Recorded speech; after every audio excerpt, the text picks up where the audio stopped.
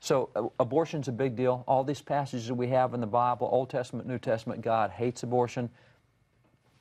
I close my Bible. What proves to me that God hates abortion if I don't have the Bible? And I thought, you know, you know, there is nothing anywhere in the natural world that kills its young while it's still in the womb. There's no, I don't care if you believe in evolution.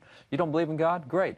Even in the evolutionary process, there's nothing that kills the young while it's still in the womb. That's a violation of even evolutionary no, process. it gives its life to protect It gives its life to protect it. It does, it Yeah. does not take life. I do not need the Bible to tell me abortion is wrong. How about homosexuality?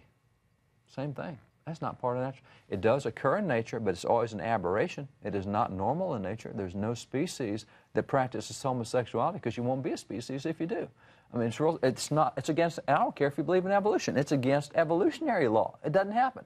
So why are we doing it over here? You know, it's not in His revealed word. It's not in His created message. So, but we get into this thing of, well, you know, we need to be compassionate. Well, great, be compassionate. God loves every person. That doesn't mean I tolerate the behavior. Now, I can be compassionate towards someone who commits murder, but that doesn't mean I approve the behavior.